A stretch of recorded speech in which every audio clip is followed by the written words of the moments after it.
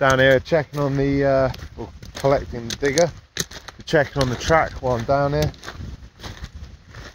Hasn't washed away, thank God. But yeah, that weather we've had recently, that storm, and it's just been non-stop rain. As you can see I'm soaked today.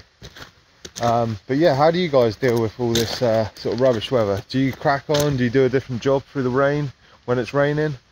Uh, we've just put our wet weather gear. Don't get me wrong, that leveling out of the ground, that's had to be put back um, until we have dry weather because it's just sodden. Diggers got stuck two or three times and it's just pointless. Um, you know, we managed to crack on with the sleepers. We managed to do this track. This was obviously just before the storm came in, but um, still crap weather, still raining every day. Um, the rain's probably actually helped a little bit with this, but I mean, to be honest, it's pretty, pretty wet down here as well. But yeah, so what? How do you guys deal with the weather? Do you um, you go indoors? Do you do a bit of construction? I mean, look at that. It's rain as water's literally trickling down. Yeah, do you guys go indoors?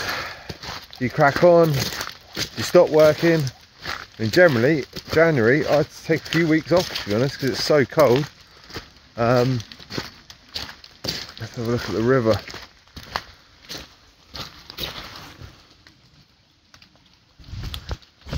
Clearing out, but she's flowing. But yeah, let us know in the comment section below what you guys get up to and how you deal with this rubbish weather.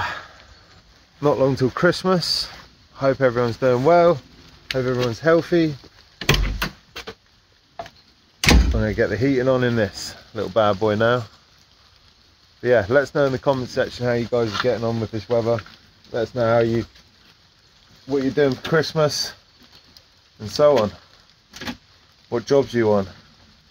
Fencing isn't bad for this time of year, I guess. Yeah, let us know how you're getting on. Peace.